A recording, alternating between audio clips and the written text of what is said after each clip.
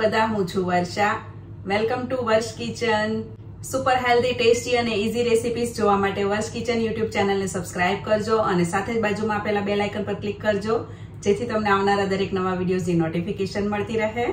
આજે આપણે બનાવવાના છીએ એકદમ નવી રીતે શિયાળાના સ્વાદ અને સેહતથી ભરપૂર ટામેટાનો સૂપ, જે અઢળક વિટામિન્સ, પ્રોટીન અને ફાઇબરથી ભરપૂર છે. અને આ સૂપ એકદમ નવી રીતે આજે પહેલી વખત યુટ્યુબ પર શેર થઈ રહ્યો છે. વર્ષ કિચન દ્વારા સૌપ્રથમ કાશ્મીરી રાજમા લેવા. આ રીતના સાઇઝમાં થોડા નાના અને કલરમાં થોડા ડાર્ક એવા કાશ્મીરી રાજમા આવે છે.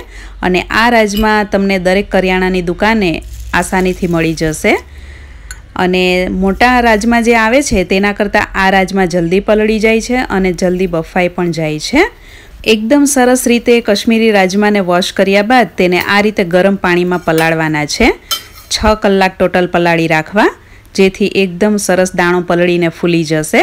અને હવે તેનું જે પાણી છે ડાર્ક કલરનું એ મેં ફેંકી દીધું છે અને નવા પાણી સાથે આપણે આ રાજમાને બાફીશું. તો સાથે જ તેમાં હું અત્યારે અડધો કપ જેટલી સ્વીટકોર્ન પણ બાફવામાં મૂકી દઉં છું. સ્વાદ પ્રમાણે થોડું નમક અને જરૂર પ્રમાણે થોડું પાણી નાખીને પાંચથી છ વિસલ સુધી બાફવું મીડિયમ ગેસની ફ્લેમ પર. તમે મકાઈ અને રાજમા બંને અલગ અલગ રીતે પણ બાફીને લઈ શકો છો. તો એકદમ સરસ રીતે મકાઈ અને રાજમા બંને બફાઈ ગયા છે. આ મેક્સિકન સૂપ છે તો તેમાં મકાઈ અને રાજમા તો હોય જ. અને સાતથી આઠ નંગ ટામેટાં લેવાના છે. આ સૂપ સાતથી આઠ વ્યક્તિને સૌ થાય તેટલો બનશે. તો ટામેટાને મોટા મોટા ટુકડા કરી લેવા. અને એક મીડિયમ સાઇઝનું બીટ લેવું, છાલ ઉતારીને તેના પણ ટુકડા કરી લેવા. મેક્સિકન સૂપ માત્ર ટમેટામાંથી બનતો હોય છે, પરંતુ આજે મેં તેને વધારે હેલ્ધી અને સ્વાદિષ્ટ બનાવવા માટે તેમાં વેજીટેબલ્સ વધારે યુઝ કર્યા છે. તો એક મીડિયમ સાઇઝનું ગાજર અને હાફ કપ જેટલી દૂધી લેવાની છે. આવું કરવાથી સૂપમાં આપણે કોર્નફ્લોર નહીં નાખવો પડે અને સૂપ ગુણવત્તાથી ભરપૂર એટલે કે અઢળક વિટામિન્સથી ભરપૂર અને સ્વાદમાં પણ એકદમ સરસ અને કલરમાં પણ એકદમ સરસ સૂપ તૈયાર થશે. એક નાની ડુંગળી, બે મોટા ટુકડા આદું, પાંચથી છ કળી લસણ લેવું અને આ બધું બાફવામાં જ સાથે નાખી દેવાનું છે. જે લોકો લસણ ડુંગળી ન ખાતા હોય તે લોકો આમાં પાંચથી છ પાન ફુદીનાના નાખી શકે બાફવામાં. સ્વાદ પ્રમાણે મીઠું અને બે ગ્લાસ જેટલું પાણી નાખીને કુકરમાં ત્રણથી ચાર વિસલ તેને બાફી લેવાનું છે. મીડિયમ ગેસની ફ્લેમ પર. વેજીટેબલ્સ એકદમ સરસ બફાઈ ગયા છે અને થોડું ઠંડુ પડે ત્યારબાદ તેને કુકરને ખોલીને આપણે વેજીટેબલ્સને આ રીતે બ્લેન્ડરથી ચન કરી લેશું. એકદમ સરસ રીતે પીસી લેવાનું છે.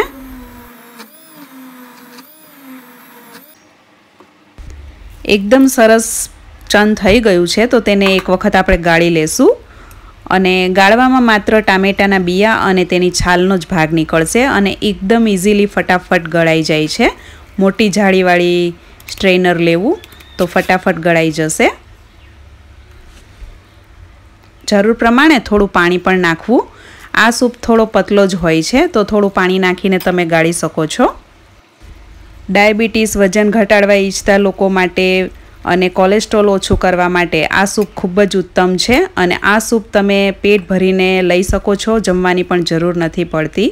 અને જોઈ શકો છો તેનો કલર ગાજર અને બીટને કારણે કેટલો સરસ આવ્યો છે અને ટેસ્ટમાં પણ થોડો ગળચટ્ટો બનશે.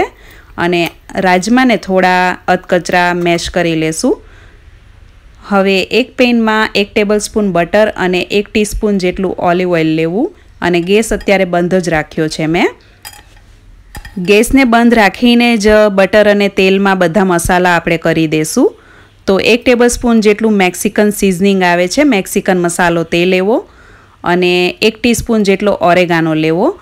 અને તમારી પાસે મેક્સિકન મસાલો ના હોય તો પીઝાનો અને ગાર્લિક બ્રેડનો જે મસાલો આવે છે તે લેવો. એક એક ટીસ્પૂન જેટલું ધાણા જીરું અને લાલ કાશ્મીરી મરચું પાવડર લેવો. અને હવે ગેસને ચાલુ કરીને એકદમ ધીમા ગેસની ફ્લેમ પર આ મસાલાને અડધી મિનિટ જેવો જ સાંતળવાનો છે.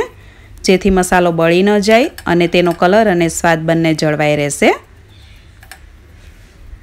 તમે આમાં અનિયન ગાર્લિક પાવડર અને ચપટી સૂંઠ પાવડર પણ નાખી શકો. અને જે લોકો લસણ ડુંગળી ન ખાતા હોય તે લોકોએ આમાં તુલસી, ફુદીનો અને બેઝિલ થોડા આગળ પડતા નાખવા અને આદું. જેનાથી સ્વાદ અને સુગંધ બંને વધી જશે. તો મસાલો ધીમા ગેસની ફ્લેમ પર એકદમ સરસ સંતળાઈ ગયો છે. તો હવે તેમાં આપણે સૂપને નાખી દઈશું સુગંધ પણ અત્યારે ખૂબ જ સરસ આવી રહી છે. આ રીતે થોડો એક બાઉલ જેટલો પહેલાં સૂપની પ્યોરી જે કરી છે એ નાખીને સરખું મસાલામાં મિક્સ કરી લેવું. અને એક ટીસ્પૂન જેટલું શેકેલું જીરું પાવડર નાખવાનો છે. મેક્સિકન સૂપમાં શેકેલું જીરું પાવડર અને ધાણા પાવડર બંને નાખવામાં આવે છે. અને હવે તેમાં આપણે આ સૂપ નાખી દઈશું અને તેમાં જરૂર પ્રમાણે થોડું પાણી નાખીને તેને પહેલાં પતલો રાખવાનો છે. મેક્સિકન સૂપ જનરલી પતલો હોય છે અને માત્ર ટામેટામાંથી જ બનતો હોય છે. પરંતુ આજે આપણે તેને વધારે હેલ્ધી ટચ આપ્યો છે અને એકદમ ટેસ્ટી ટચ આપ્યો છે. વધારે પ્રમાણમાં વેજીટેબલ્સ યુઝ કરવાથી સૂપનો સ્વાદ અને સુગંધ અને તેની થિકનેસ એકદમ સરસ આવે છે. સાથે જ તેમાં બાફેલા રાજમા અને મકાઈ ઉમેરી દેશું અને હવે આ સૂપને દસેક મિનિટ જેવો ઉકાળવાનો છે મીડિયમ ગેસની ફ્લેમ પર.